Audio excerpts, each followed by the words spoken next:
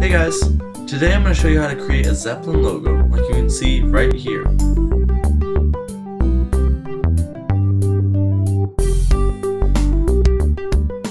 So what I'm going to do is I'm going to use this sun clip art.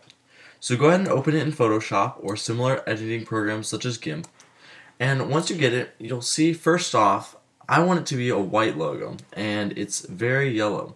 So the first thing you're going to need to do is to create a layer from the background. Now go ahead, you can name it whatever you want, it really doesn't matter. Now once you've done that, you need to delete the background so that we have just the sun with no white background. So go ahead and get your magic wand tool, set the tolerance pretty high, I set mine at 50, and go ahead and click anywhere on this white space. Once you click there, you can go ahead and hit the delete key and it will remove the background. Go ahead and hit Command D and it will deselect. Now we need to change the sun to a yellow, or sorry, from a yellow to a white color. To do that, we'll select the paint bucket tool. We'll make sure we have a white color selected and we'll start painting all of the yellow spots white. Now this may take some time.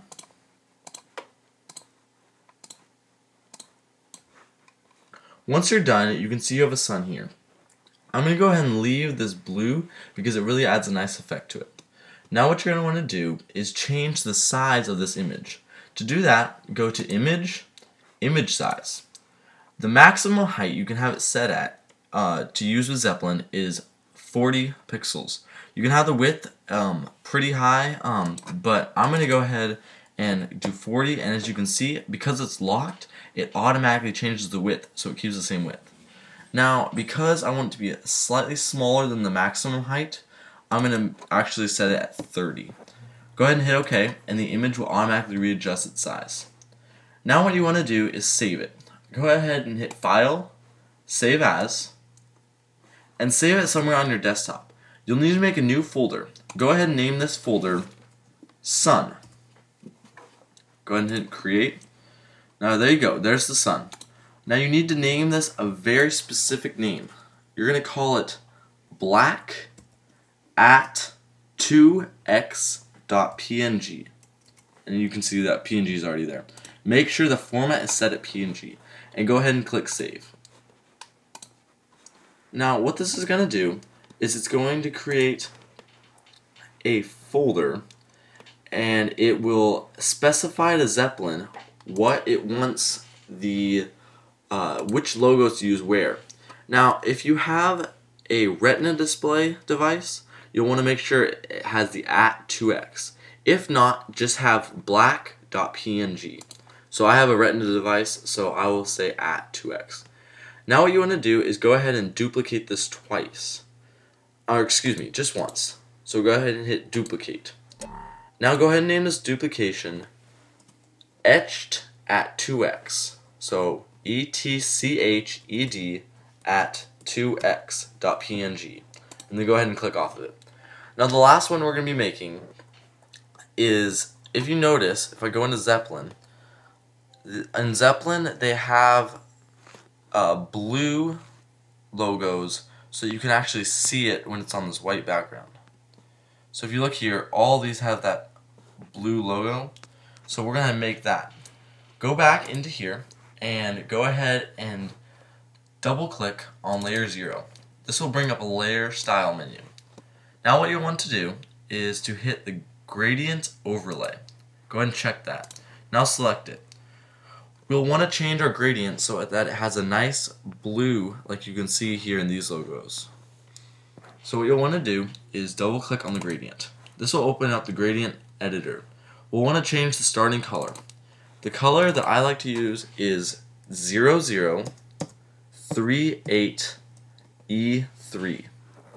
That's the first color I'll use. The second color I'll use is 47A5FF. As you can see, it creates a very nice effect. You can go ahead and edit this um, as much as you want. You can change the opacity a little bit, make it a little bit lighter, a little bit darker, um, but I'm going to go ahead and leave it like that. Now go ahead and say File, Save As. You'll want to save it in the same folder you saved the last one. So in that Sun folder, I'm going to save it. But this one, set it to PNG. This one I want to save as silver at 2x. So that's what you're going to need to name this one. Go ahead and hit save. Once you've saved it, you'll see you have the three files you need in the Sun folder. Now we need to use a program called CyberDuck to SSH into our device so we can put the files in. So go ahead and open CyberDuck. Um, if you don't know how to use CyberDuck, you'll want to look for another video which will show you how to use it, but it's very simple to use. Um, what you'll want to do is once you SSH into your device, you'll see this menu. Go ahead and go into Library, scroll all the way to the bottom, and you'll see a folder called Zeppelin. Go ahead and open that. Now in here you can see all of your Zeppelin logos you currently have. This is really nice because you can go ahead and delete ones that you don't want to use. Now what you want to do is go ahead and drag this Sun folder from here into Zeppelin you want it to have, let me move this window so you can see better. You'll want it to have a plus next to it, but it's a little bit difficult, I noticed, to not get it to go into a folder. So what I like to do is just come down to the, oops, hang on, let me try that again. Accidentally right clicked. Drag it down to the very bottom, and you gotta get it, so see like that? Now there's none selected, and I can just drop it and it will go ahead and copy the sun folder right there. So now we have the sun. So let's go ahead and see if it actually worked on a device. On the device, back out of Zeppelin menu, and then go back in, and it should have your new logo already made. As you can see, our sun logo is right there. If we go ahead and click on it, it'll put it right up here in this menu bar. Thanks for watching guys. This is how you create custom Zeppelin logos and go ahead and subscribe and look forward to more videos.